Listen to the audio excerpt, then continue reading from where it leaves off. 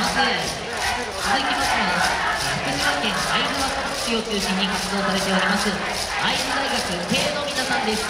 会津大学会津関西のメンバーをもとに構成している学生よさこいチーム会津大学系です。現在約25名で活動しています。学生ならではの元気を届けられるよう精一杯演舞します。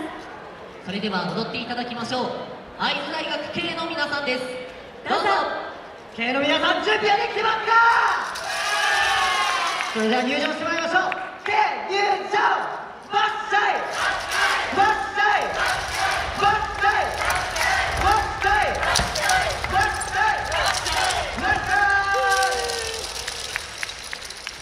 我々福島県会津若松市からやってまいりました。会津大学系本日サブステージも含めて3演舞させていただきます。最初の演舞2022年度演舞「人とせ」になります。テーマは四季と花々。四季が移ろいゆく様を表現していきます。ご声援お手拍子のほどよろしくお願いします。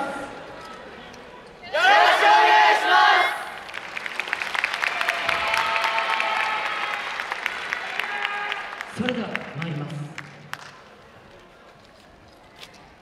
巡る季節に思いを乗せ新たな花が咲き誇る。